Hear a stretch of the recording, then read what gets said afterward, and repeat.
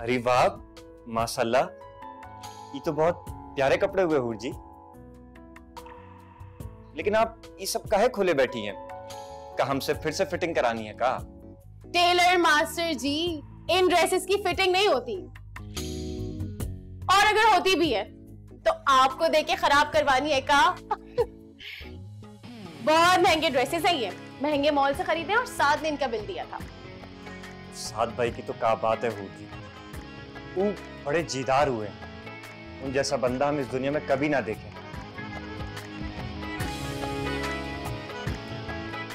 दिल वाले तो तुम भी हो काशी। और तुम जैसा भी मैंने आज तक नहीं देखा। मगर अरे जी आप क्या सोच रही हैं?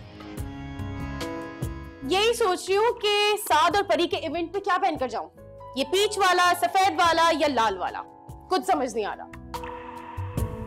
जी हम बताएँ अगर आपको बुरा ना लगे। अच्छा चलो ठीक है। आज हम देख लेते हैं कि तुम्हारी चॉइस कैसी है। आप जी ई मरून वाला पहनिए। ई कलर आप पर बहुत अच्छा लगे है।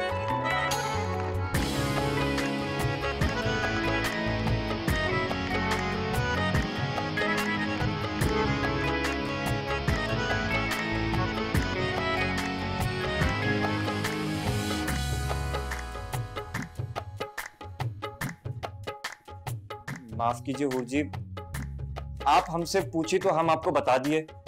नहीं तो हमका का पता कि आप पे का अच्छा लगे, का बुरा? हम ना शाम तक आपकी मैक्सी भी ला देंगे अरे, वो वाली मैक्सी?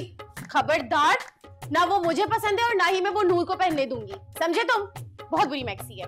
बल्कि काम करती हूँ, मैं अपने ही कपड़ों में से एक अच्छा सा जोड़ा निकाल के नूर को दे देती हूँ। आखिर इतने बड़े होटल जाना है, कार्टून बन के थोड़ी ना जाना है हमें। हाँ ये तो आप ठीक बोले। तुम क्या पहनोगे? खबरदार जो तुमने ऊटपटांग कपड़े पहने। बल्कि मैं तुम्हें बताऊँगी कि तुम्हें क्या पहनना है। समझे तुम? ठीक है जी जैसा आप बोलेंगी हम वही पहनेंगे। हम्म।